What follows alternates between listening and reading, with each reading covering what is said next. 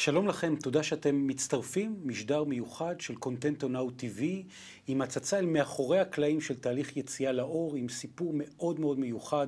שמואל זור ינאי נמצא איתנו כאן בסדרה של שיחות, שלום לך שמואל. שלום. וגם מצטרפת אלינו סבינה רפאל, שלום לך סבינה. שמואל, נתחיל קודם כל, תכף נציץ אל הסיפור הממגנט והמכשף של סבינה, עם הלפני ואחרי. מה הם, מה שהאדם צריך לחוש דוגמת תחושת הלב, כדי לדעת, היי, hey, אני מתקשר לאדם שמטפל בכלים שהם לא קונבנציונליים, בכל מיני אירועים, דרמות שקורות לי בחיים. שפשוט מאוד אה, דברים לא הולכים בסדר אה, או בצורה רציונלית בכל ההיבטים, לא רק בהיבט אחד. כשנחל זורם, החיים עצמם זורמים. יש דרמות, יש דברים שתוקעים אותך בדרך, אבל ברגע שהמכלול תקוע, משהו אומר, יש פה משהו מעל הטבע, משהו שהוא לא מסתדר. והאי סדר הזה במקסימום, בכל ההיבטים, אומר, אה, צריך להסתכל על זה בצורה אחרת ולטפל בזה. מה זאת אומרת, יש סוג של קריסה רב-מערכתית. כן. תגידי לי, סבינה, ברגע שלפני שפנית לשמואל, אם היית ככה מסתכלת על ספר החיים שלך, מסתכלת על תוכן העניינים, מה היו מהדורת, מה היה ככה כתוב בתוך אה, מהדורת הכותרות? מה היה חסר לך? מה אכזב אותך? מה כאב לך? אני רוצה להגיד לך, זה לא שאתה מרגיש מה חסר לך. זה לא שאתה מרגיש אה, שהיית צריך לעשות משהו ואתה עוד לא הספקת. אתה לא מרגיש כלום. אתה לא מרגיש שאתה עצמך. לא כי אתה לא? מרגיש חלומות, אתה לא מרגיש מה אתה רוצה לעשות מחר בבוקר. אתה לא מרגיש שיש לך מה לעשות בעוד חודש. אין לך תכנון לטווח ארוך יותר. כאילו אתה אומר, טוב, אני מתעורר, אני הולך לישון, פה זה נגמר. זאת אומרת, את אומרת, אני לא הרגש, ההרגשה שלך הייתה ש, שמה שאין עתיד, כן, שאין, שאין שם כלום, כאילו. זוגיות? אני קמה, הלכתי שם וזה נגמר, לא היה. לא הייתה. אה, אהבה? לא, לא הייתה, זה בדיוק נגמר בשלב לפני שהכרתי את שמואל. פרנסה? אין עבודה, לא עבדתי. כסף בבנק? כלום, פשוט כלום. חלום? לא, לא. הגעתי למצב שפשוט לא היה לי כלום בראש. ואז איך את מגיעה לשמואל? מה את, מה, איך, איך, איך נוצר החיבור הזה? נכנסת לרשתות אמ, החברתיות? לאן? מה כן. קורה? נכנסתי בפייסבוק וראיתי את הפרסום שלו. של שמואל זור ינאי. נכון. ואמרתי, טוב, מה יש לי להפסיד? כבר הפסדתי הכל ואין לי כלום, אין לי מה להילחם, כאילו, לא בשביל מה, לא על מה, וטוב, ננסה.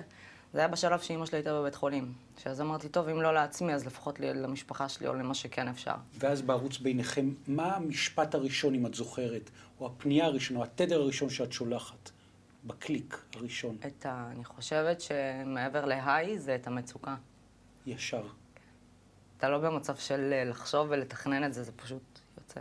ואתה מקבל את המסר הזה בפייסבוק, שהוא מאוד פעיל, יש שם המון המון סיפורים והצלחות ותובנות. ומה אתה מרגיש מהצד השני שמקבל את המסר? אה, הרגשתי ש...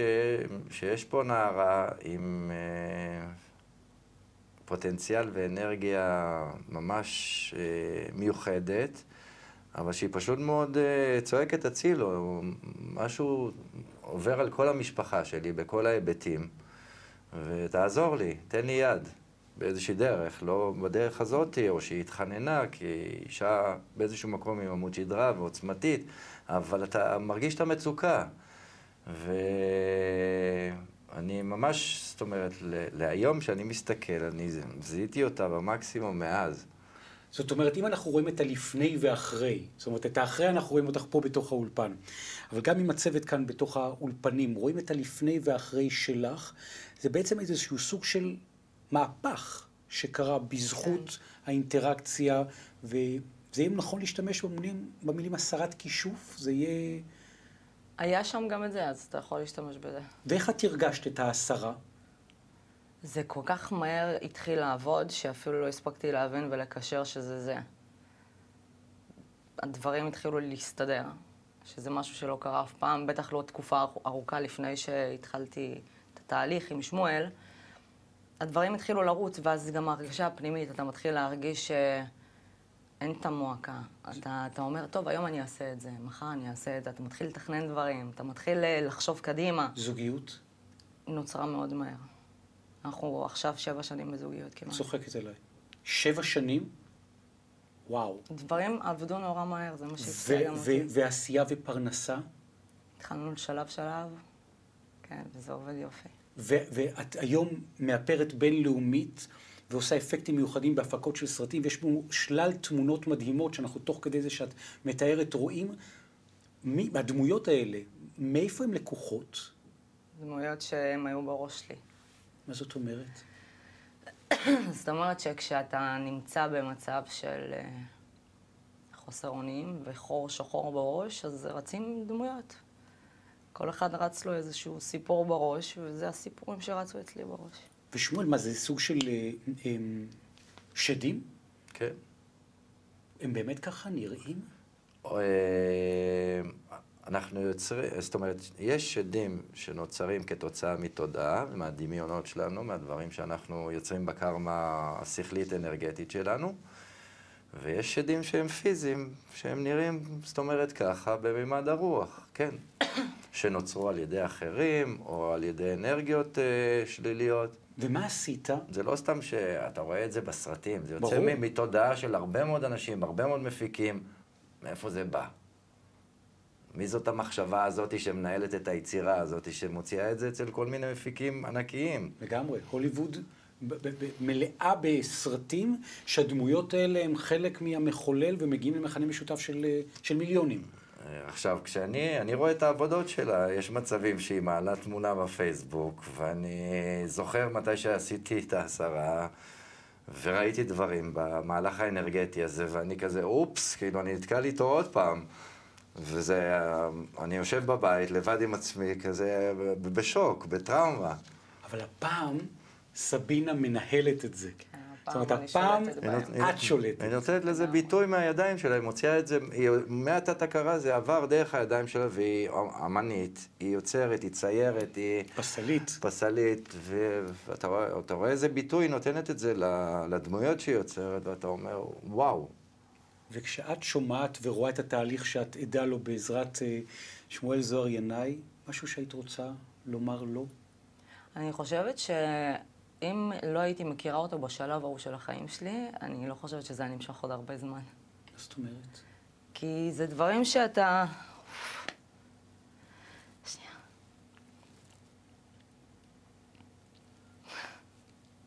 אי אפשר לעצור?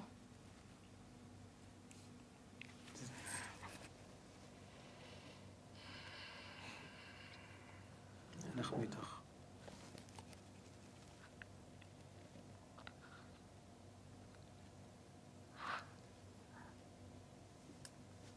את יכולה להוריד את הידיים.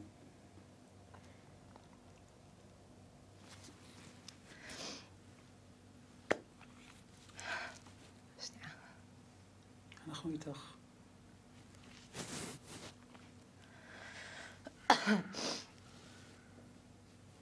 אני שמחה שזה מאחוריי. לגמרי.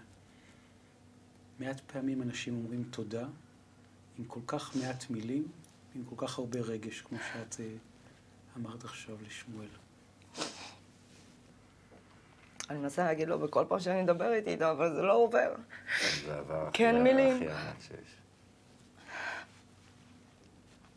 הכל טוב, זהו. ברור שהכל טוב. עברתי.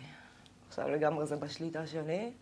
שמואל ערני, הוא איתי, הוא אמר שהוא לא עוזב אותי. אני רגועה. יש לנו סיפור שמתגלגל גלגולים שלמים. הזיהוי שלי, כשדיברתי איתה דאז, היה טוטאלי. הסברתי לה את זה כמה פעמים במילים שאני יודע לצייר את זה מבחינת מילים, והיא מציירת את זה מבחינת uh, הידיים שלה.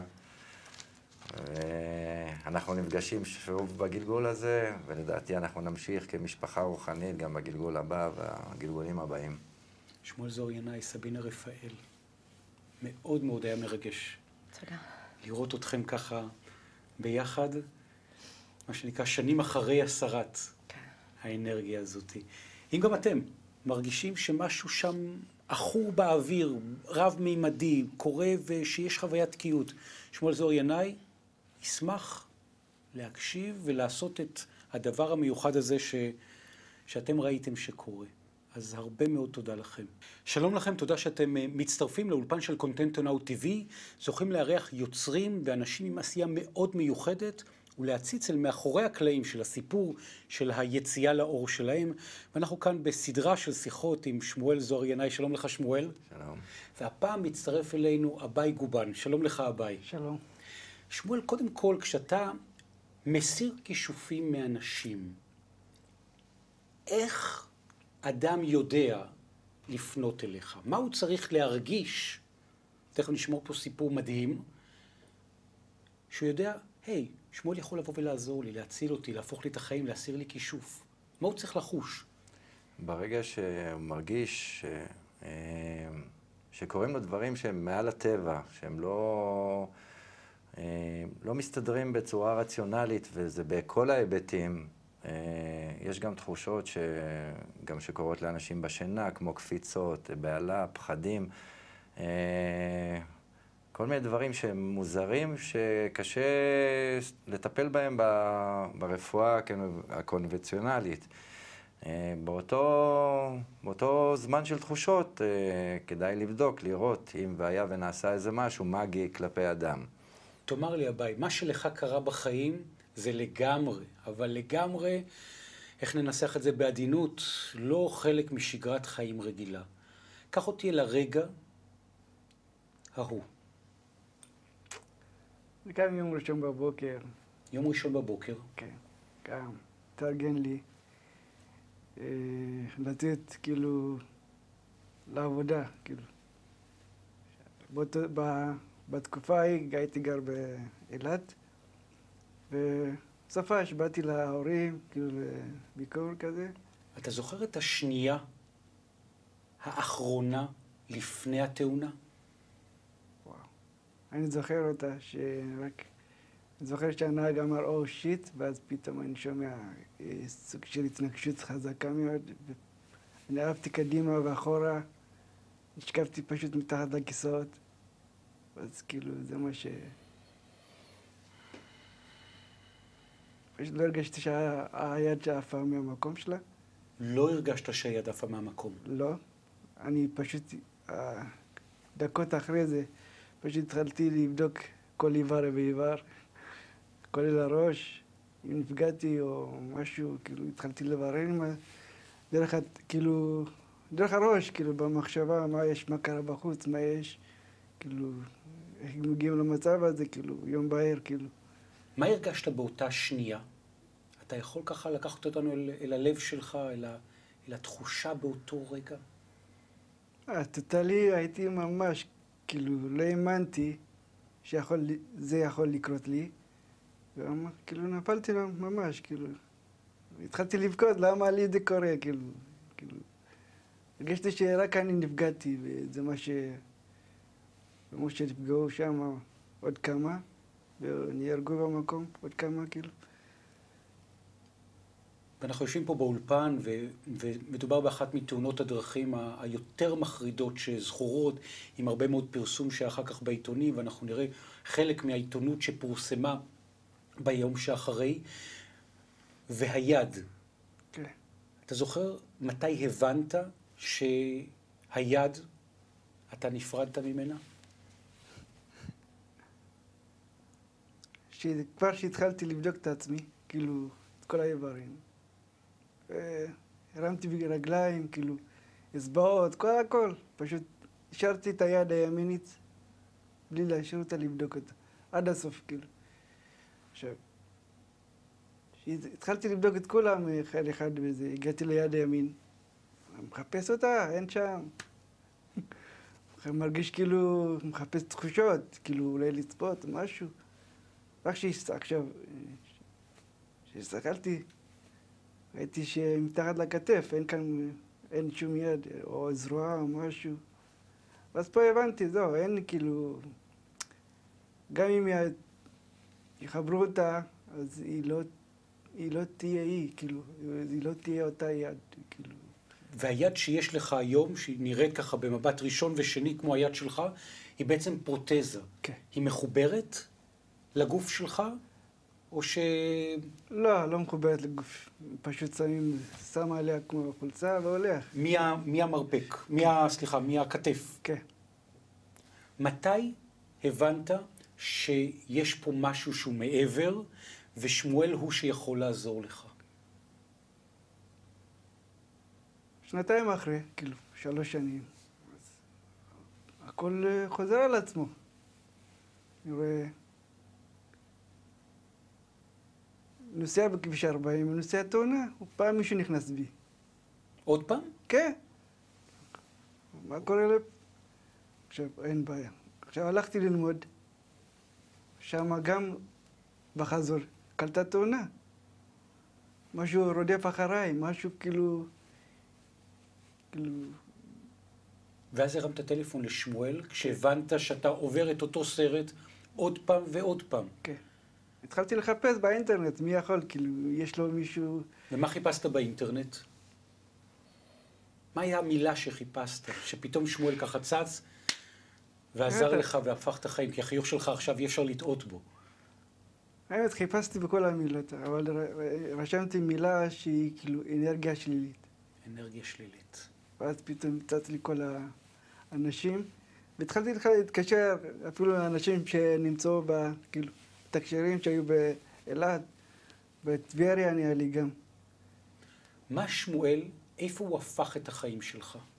איפה הוא עושה את השינוי? ואתם באמצע תהליך, ו- ויש עדיין, אני מניח, כאבים, אבל כבר באמצע התהליך, כשאתה נכנס לפה לאולפן, אי אפשר לטעות בחיוך שלך. כן. ברור שמשהו טוב כבר קורה. אז מה הוא שינה? מה הוא שינה? אני חושב שכאילו, הוא לא שינה אותי מבחינת פיזית, אבל הוא שינה משהו, ב, משהו ברוחני, בנפ, בנפש, או במה שקורה מסב, ב, בנסתרים. אתה יכול להסביר לי מה אתה מרגיש היום אחרת? מה הוא שינה? מה בנפש? מה ברוח? מה בנסתרים? אה, אני, ב, כאילו, אחרי התאונה נכנסתי. כאילו, אחרי, כמה חודשים אחרי זה, התחלתי להבין גם עם התאונות שקורים לי, התחלתי להיכנס לדיכאון, כאילו, ברור, כל דבר רודף אותי, כאילו. לגמרי. אמרתי, יש פה משהו, כאילו, הגיוני. כשפניתי לשמואל, אז שהוא אמר שהוא עושה עשרות, כל, הד... כל ה... מה שהוא עושה. אז כאילו, כבר, כבר בחודש הראשון הרגשתי שינוי. משהו רצון לחיות, כאילו. משהו, אנרגיה, הביא לי אנרגיה טובה, כאילו. יותר, כאילו, מרגש, שמחתי כזה, שמחה, אושר. עכשיו, כאילו, אני אומר, הוא לא עשה לי משהו בפנים, או שינה אותי משהו, כאילו. כאילו, מפה אני מודה לו ממש. זה כיף לשמוע. שמואל, אתה יכול להסביר איך, אתה יודע, הסרת את מה שהיה צריך להסיר, או אתה עובד עדיין, זה תהליך, אתה נותן לנו ככה אפשרות להציץ אל מאחורי חדר הטיפולים, הייעוצים, הליוויים, הסרת הכישופים שלך. מה עשית? מה, מה קורה? אה, הדבר הראשון, אה, האדם עצמו חטף כמו שוקר חשמלי, מכה פיזית, פיזית, אנרגטית. אה, באותו מעמד נכנס בעלה, פחד, כל הדברים הכי נמוכים שיש. אה, ברור שבן אדם שגם פתאום אה, מגיע להכרה שוואו, אני נכה, אז גם נכנס הפסיכולוגיה וכל האלמנטים. אה, הפעולה הראשונית זה קודם כל להסיר ממנו את, ה, את הכניסה הזאת האנרגטית השלילית, שפשוט מאוד דחסה אותו לנקודה הזאת. זה, זה הדבר הראשון. מצד שני, באותה נשימה, המלצתי לו על ויטמינים, תזונה ואורח חיים מסוים. והתהליך הזה שאתה בונה עבור כל אחד מהמטופלים, היועצים שלך, היה שם מישהו בצד השני שהטיל משהו שפגע, או שזה מין צירוף נסיבות קיצוני ש... ש, ש, ש... אז אני אסביר. אה, במה שאני זיהיתי אצלו, אה,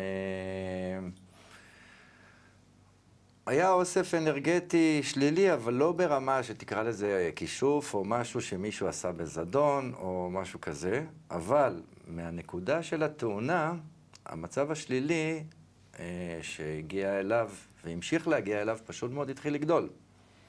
כי זה כמו שאתה, הבית שלך כרגע נקי, ואתה יודע שאתה מנקה פעם בשבוע. עכשיו, אם אתה פתאום מפסיק לנקות פעם בשבוע ואתה מנקה פעם בחודש, הלכלוך פשוט מאוד ייערם. אפילו אם הבית סגור, יהיה אבק. אז אותו דבר, השלילי גבר. ואז הוא פתאום נתקל בעוד תאונה, וצריך לעשות איזה cut, איזה ברקס אנרגטי, אה, לעצור את, ה, את המגמה הזאת. את הברקס האנרגטי הזה, אתה יכול לחלוק איך אתה עושה? מה עושים? איך זה קורה? צריך להיות בחדר, צריך, זה במייל, זה בטלפון, אתה צריך שק, איך...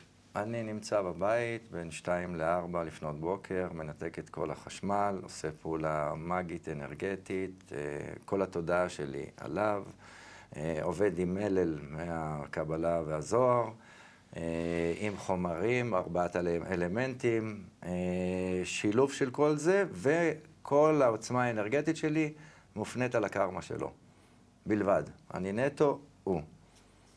יש מצבים שגם, אפילו אני מבקש, גם מטופלים ואנשים, להיכנס אליהם לחלום וממש לטפל, להיכנס לתת ההכרה שלהם. אבל בן אדם לא נמצא מולי פיזית. משפט סיום שלך, משהו שאתה רוצה להגיד לשמואל. אני פשוט מעריך על מה שהוא עשה, כל מה, שינה לי את החיים, כאילו. מפה אני רק מודה לו, מפה השמיים עגול. איזה יופי לשמוע, זה פשוט מחמם את הלב. תודה רבה לך. תודה לכם. תודה רבה לך, שמואל זוהר ינאי. אתם, שמרגישים בדיוק כמו שנאמר, שיש איזה אנרגיה רעה, משהו מוזר קורה בחיים שלכם, ואתם לא מבינים מה קורה, פשוט תיכנסו, תקליקו, תשאלו, תרימו טלפון, אין טוב ממראה עיניים. תודה רבה לכם שאתם מצטרפים לאולפן של קונטנטו נאו TV. שלום לכם, תודה שאתם אה, מצטרפים. אולפן של קונטנטו נאו TV, זוכים לארח את מאחורי הקלעים של תהליכי היציאה לאור, ויחד איתנו נמצא כאן בסדרה של מפגשים ושיחות וסיפורים מאוד מרגשים. המדיום שמואל זוהר ינאי, שלום לך שמואל. ועכשיו נמצא יחד איתנו אורח מיוחד. קוראים לו אלון דוד אמר. שלום לך, אלון. שלום. ואתה הגעת לשמואל, והחיים שלך שינו כיוון, אם יש דרך להגדיר 180 מעלות, זה 180 מעלות. ממש ככה. אז תכף נדבר ונפרט ונלמד. מי הם האנשים שמקליקים, מתקשרים, באים ומטלפנים? אתה צריך להיות ב-180 מעלות בתוך מנהרה ולראות את הרכבת מולך? זה הנקודה? איך יודעים שאתה יכול לבוא לעזור? שאתה רואה חושך. רואה חושך. ולא מצליח לראות נקודות אור. או נקודת אור. ספר לי על מתי אתה הרגשת שהגעת אל התחתית, שאתה רואה חושך. אני בן אדם שאם אני לא רואה דבר, אז אני לא מאמין בו בדרך כלל. ועברתי תקופה מאוד מאוד קשה וחשוכה. תן דוגמית.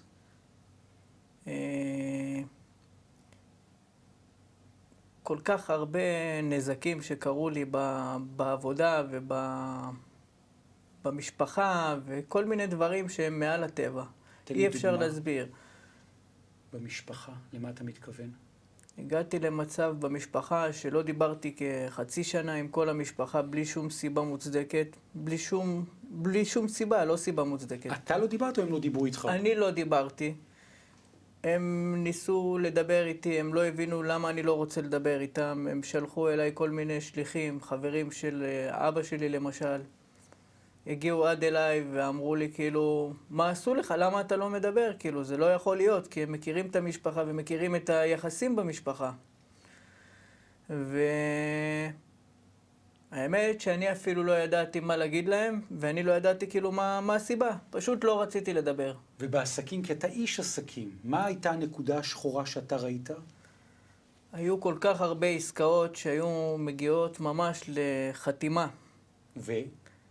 מגיע הרגע שצריכים לחתום, באותו רגע שצריכים לחתום, פתאום משהו משתבש והעסקה מתפוצצת.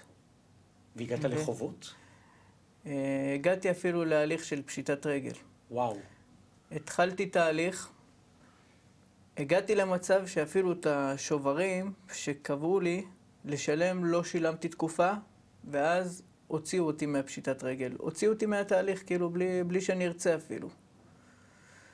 והאמת שלא לא הבנתי מה קורה עדיין. מתי הרמת טלפון? מתי אמרת, זהו, אני חייב לקבל עזרה? כשראיתי שיש כל כך הרבה דברים שלא מסתדרים, וזה... הבנתי שזה משהו שהוא מעל הטבע. מה חיפשת בעצם? איך ידעת לפנות ולהתחבר לשמואל? אני קודם כל הגעתי לאנשים אחרים. הגעתי לכל מיני רבנים, וחלקם אמרו לי שיש איזושהי פעולה שעשו, ו... מה, הטילו עליך כישוף? הטילו עליי כישוף, משהו שזה כמו כישוף, אבל... וודו כזה? זה מה שבסוף היה, שהטילו עליי, עשו לי בובת וודו. מי עשה את זה עליך? זה... אם אפשר. אתה יודע? אני אשאל שאלה כזאת, אתה יודע מי עשה? אני יודע מי עשה, וגם אני יודע מה קרה אחר כך, אבל אני לא רוצה לפרט כאן ב... זה פשוט עכשיו אישי. תקשיב, אני רק רוצה בשביל הפרוטוקול. אתה אדם, איש עסקים, חי בעולם הזה, ואתה מדבר עכשיו על כישוף, ואתה מדבר על וודו, רואים אותך אנשי עסקים, ואתה בא ואומר שמה בעצם העזרה של שמואל נתן לך. איך הוא עזר לך? אני חייב קודם כל לספר כאילו לאיזה רמות זה הגיע. זה הגיע לרמה שכל מה שהייתי עושה לא היה הולך, לא עובד, לא דיברתי עם המשפחה.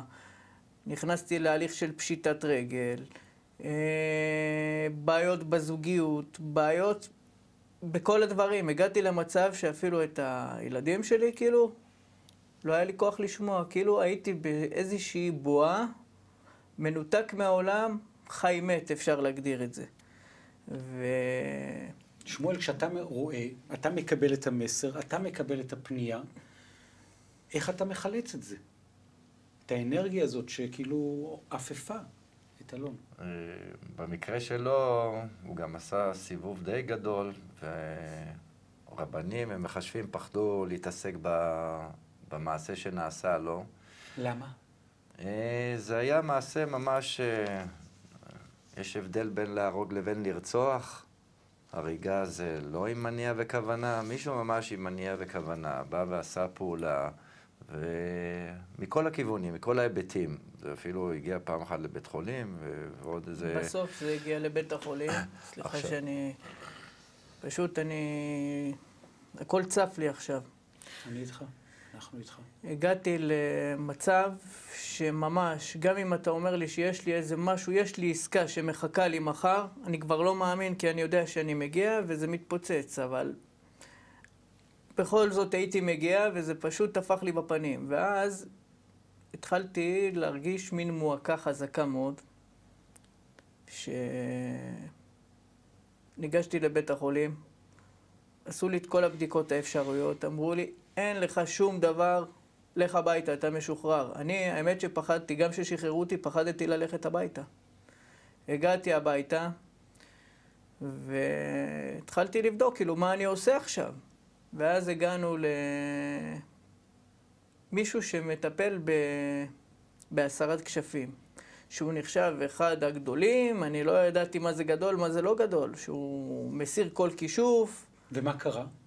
והגענו אליו, והוא אמר לי שהוא, כדי להסיר את, הוא ראה שיש משהו נורא, והוא אמר לי שהוא רוצה להסיר לי את הכישוף, ואז הוא ביקש משהו בסך של 30 אלף שקלים בערך.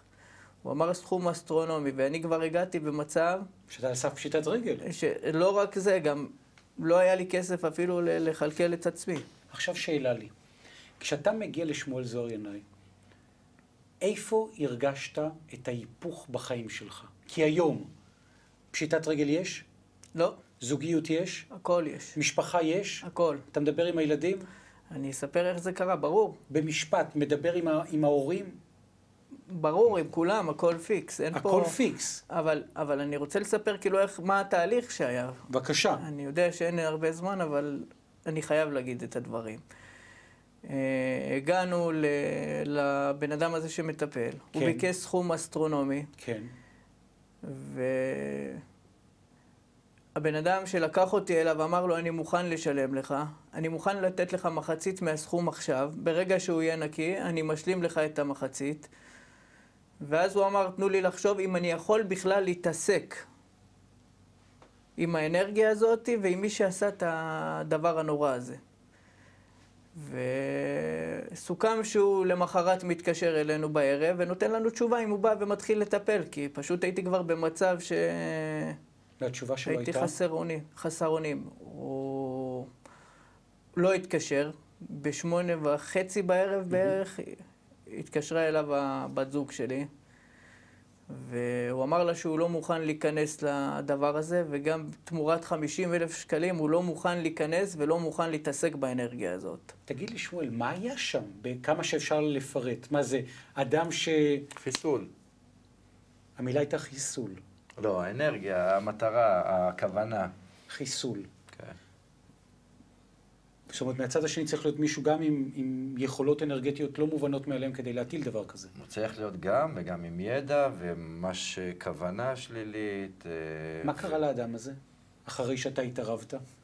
זה, הוא יכול להגיד, אני לא, לא מתעסק בקורבנות. מה קרה לו? האדם הזה, קודם כל, אה, הגיע הוא בעצמו לפשיטת רגל. הוא הגיע למצב שהוא... אני יכול לספר משהו? בלי שום פרט מזהה רק. אוקיי, הוא הגיע אפילו למצב שהוא נזקק לי. אליי, איזה היפוך. עזרת לו? כן, עזרת לו. ממש ככה. זה. אלון. כן. אלון הוא איש אה, עם המון המון נתינה, ולב ענק. אתה יודע, אגב, בהקשר הזה, בוודאות שזה הוא, שזה תחושת לב כזאת, הרגשה... אני יודע בוודאות, כי הייתה תקופה לאחר מכן ששמנו מצלמות בבית, כן. ותפסנו את הבן אדם, כאילו ראינו במצלמות שהוא בא כמה פעמים לעשות כל מיני דברים. מה ראיתם שהוא עושה? הוא שפך כל מיני חומרים, כל מיני... אני לא יודע כאילו מה הוא עשה, אבל הוא עשה מגיות. ו... אני חייב אבל להדגיש עוד פעם ועוד פעם בשיחה המדהימה הזאת, אתה אדם מן היישוב. איש שעושה עסקים, שעושה עסקאות, שחי, שמשפחה וכולי. לא איזה משהו כזה רוחני בצפון טיבט. ממש לא. אתה מהפרט, אתה... ממש לא, אני גם לא האמנתי בדברים האלה. דרך אגב, עד שלא התנקיתי מהדבר הזה, לא האמנתי שזה קיים. יש מין, מין אמרה כזאת, שהרבה אנשים אומרים, כאילו, אם לא תאמין בדברים האלה, אז זה לא ייתפס בך. אבל אני ממש מהאנשים האלה שהאמנתי שאם אתה לא מאמין, אז זה לא נתפס. אבל, ונתפס. אבל אני אומר, אוקיי, ואם זה נתפס, אז מה? מה, מה, מה המחיר שבן אדם משלם? בסיום כאילו- השיחה הזאת שלנו, משפט אחד שאתה רוצה לבוא ולומר כאן לשמואל זוהר ינאי. קודם כל, תודה. ואנחנו, דרך אגב, מאז בקשר מאוד טוב, כאילו, ואני יודע שכל פעם שאני שואל אותו משהו, אני מקבל ייעוץ, ותמיד הוא יודע והוא תמיד צודק. אני לא יודע למה, אבל הוא תמיד צודק. שמואל, ו- משפט אחד שלך לאלון. אה, אנחנו כבר כיום אה, יש, כמו אחים. סליחה רגע, אני יכול שנייה לקטוע? כי יש משהו שממש אני חייב, משהו שמוחשי, שכאילו רואים, אין פה... קדימה. עבדו אצלי שלושה אחים מהעדה הבדואית. מהמם. ופעם אחת אני לא הבנתי כאילו למה הם נשארים יותר זמן מכל החבר'ה, כאילו למה אתם לא הולכים הביתה לנשים, לילדים, ואז שאלתי אחד מהם, למה אתה לא הולך כאילו לפני הזמן, לך לילדים. אז הוא אמר לי, אין לי ילדים. אמרתי לו, אוקיי, לך אין, אבל מה עם האח השני? אז הוא אומר לי, גם לו אין. אז התחלתי לחשוב ואמרתי, ולשלישי כאילו למה אין? אז הוא אומר לי, לא, לשלושתנו יש את אותה בעיה. ואז אני כבר הבנתי שיש פה משהו שהוא מעל הטבע. אז הבנת מה עוד צריך, לאן צריך לפנות. כן, ואז אני באותו רגע עצרתי אותם, אמרתי להם, תקשיבו טוב, אני יודע מי יכול לעזור לכם. הם אמרו לי, בוא, בוא ננסה. גם, דרך אגב, הם גם ידעו שעשו להם משהו, כי הם היו באיזושהי חתונה והם שתו משהו שם, ומאותו יום הם הרגישו שמשהו לא עובד אצלם. כדי להשאיר טעם של עוד קח אותי לשורה התחתונה. היום לש- יש או אין ילדים? היום ש- לשלושתם יש ילדים, והם התקשרו, אני... קודם- לשלושתם יש שלוש ילדים. לכל אחד יש שלושה. שלושה. ואנחנו, ורגע, ועוד דבר שכאילו שכחתי להגיד כאן, כן. הם uh, הגיעו לשמואל, יצאנו משם, למחרת בבוקר הם התקשרו אליי, אני פשוט נבהלתי. מה הבן אדם שלך עשה לנו? אני פשוט לא ידעתי מה לענות. אמרתי להם מה קרה, אז הם אמרו לי, הכל עובד, כאילו, הכל עובד. הכל עובד, כאילו אין פה... ואנחנו יכולים לעוף באוויר, פשוט ירד כל הדבר הזה מהם ביום. אלון דוד אמר, יכולנו, ואני מאחל לעצמי שגם נשוב ונשמע בעוד כמה חודשים ושנים את המשך המסע שלך, כי הוא מדהים. שמואל זוהר ינאי, תודה רבה לך תודה. מאוד מאוד. ואם גם אתם מרגישים שיש פה משהו שחור, ואתם לא מצליחים לראות את נקודות האור, תרימו טלפון. אין כמו מראה עיניים, תפגשו, תשמעו, תעזרו. תודה רבה לכם. תודה. תודה רבה לכם שאתם יחד איתנו באולפן של קונטנטו נאו TV. תודה.